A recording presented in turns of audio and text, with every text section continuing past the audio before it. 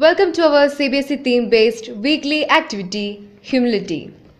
Humility is a virtue, it's the quality of keeping oneself under control. It's the opposite of being proud. A person who possesses this quality is humble and weak. A humble person is the master of himself. He is not stubborn. He is ready to accept other people's advice and learn from their experience. He is not annoyed with anybody. A proud person gets angry easily when something offends him. A humble person does not get angry easily. He admits his mistakes and shortcomings politely. A proud person does not admit his faults easily.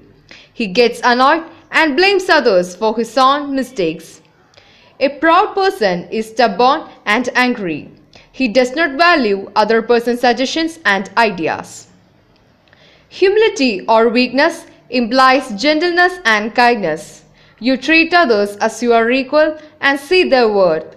You give proper importance and consideration to the views of the others.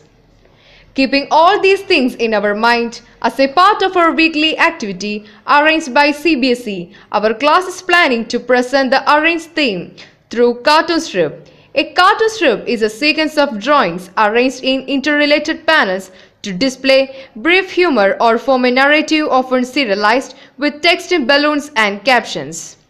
Let's move to our class. Hi Ria, Hi Jewel. I'm doing our activity on the theme-based humility. There are two main characters in the story, an elephant and a fox. An elephant is a kind-hearted person and he wants to help everyone. A fox is a ruddy one and always praises his abilities. One day the fox was going through the forest. He saw a rabbit in danger. He did not help him. The elephant came by the road and helped the rabbit I wanted to make friendship with him.